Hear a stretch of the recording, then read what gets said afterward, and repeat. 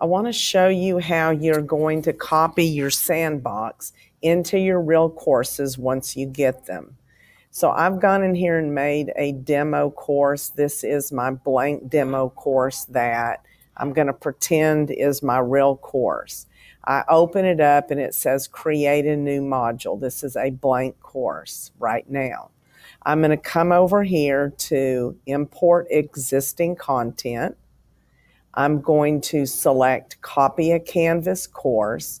In this case, my course is called Demo Course that I want to copy. And I'm going to copy all content because I don't really have a lot of published calendar dates on this in this course and then so I'm going to select the all content. If I decide that I want to copy over last year's course, then I'm probably going to select specific content because I don't want to copy over my calendar dates. So now I'm going to click import.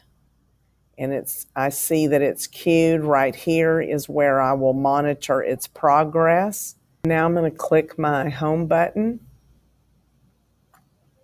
and there's my course, all of my stuff in my course. And now I'm going to click my publish button and my students will be able to see my the contents of this course.